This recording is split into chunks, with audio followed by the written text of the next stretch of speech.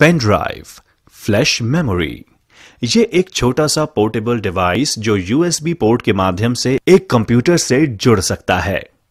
यहाँ तक कि जब यह कंप्यूटर से जुड़ा नहीं होता, तब भी डेटा को संग्रहित रख सकता है।